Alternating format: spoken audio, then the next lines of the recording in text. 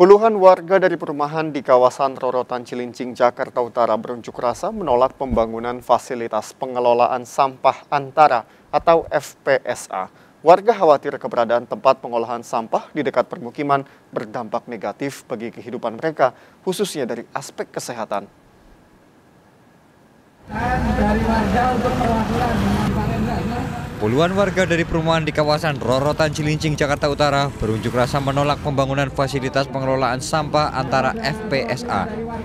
Masa berunjuk rasa di depan lokasi lahannya akan dijadikan FPSA tersebut minggu siang.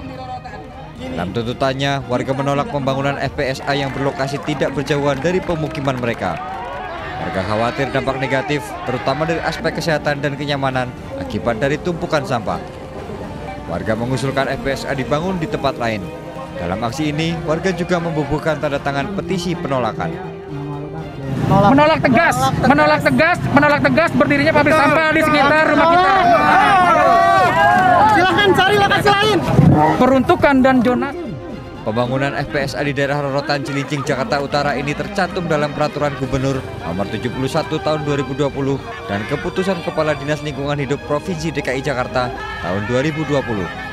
FPSA dibutuhkan sebagai salah satu solusi bagi persoalan sampah di DKI Jakarta.